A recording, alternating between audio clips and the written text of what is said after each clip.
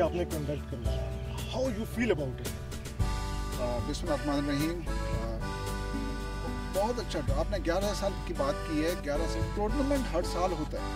वो टूर्नामेंट हमारा हर साल होता रहा है लेकिन जो जिसमें लोकल प्लेयर्स आते थे, ये 11 साल बाद दोबारा इंटरनेशनल वापस आए जिसमें शायद ज़्यादा बड़ी वजह जो थी, वो शायद हमारी तरफ़ से कुछ कोताही थी कि हमने नहीं किया।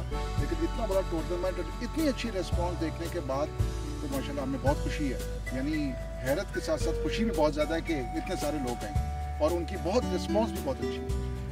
सर तो जो आपके यहाँ पे अरेंजमेंट्स हैं और जिस तरीके से नेवी इसको कोऑर्डिनेट कर रही है sir what would you like arrangement के पीछे, ये अरेंजमेंट लफ्ज़ बहुत छोटा है, लेकिन इस अरेंजमेंट के पीछे बहुत बड़ा सिस्टम है, जिसे काम करके। मैं बल्कि अगर आप रिलेटिव कंपैरिजन करें तो कैसे ये कि एक लोकल टूर्नामेंट हो और एक इंटरनेशनल टूर्नामेंट हो। उन दोनों में क्या फ़र्क हो सकता है?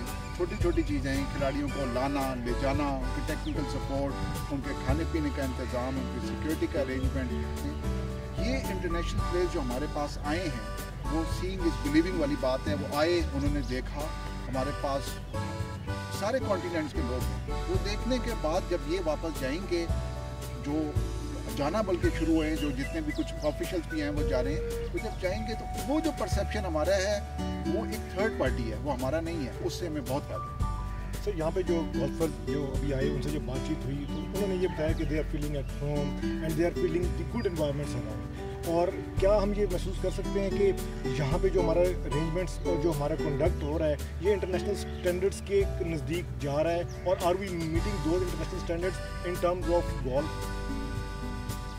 नज़दीक नहीं जा रहा ये उससे बेहतर है। मैं आपको बिल्कुल कहती हूँ उससे बेहतर है।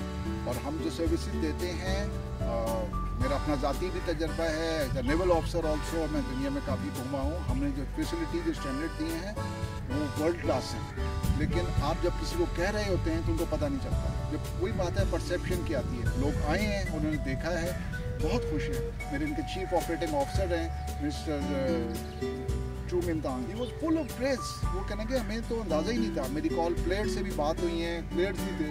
उनका ये जो आपका गोल्फ कोर्स है, जिसकी कोई सौ साल से पुराना ये गोल्फ कोर्स है, इसकी बड़ी हिस्ट्री और one of the finest in the region तो सर अभी पाकिस्तान में जिस तरह गोल्फ प्रमोट हो रही है, अभी हमारा एक एक्सक्लूसिव वन गोल्फ चैनल है। तो what do you say about कि इस चैनल और इस गोल्फ की प्रमोशन और इस गोल्फ के कैरियर के फ्यूचर के बारे में आपकी क्या राय है?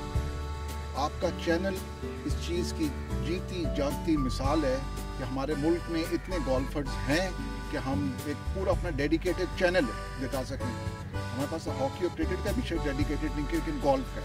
तो ये हमारे लिए एक बहुत बड़ी चीज़ है।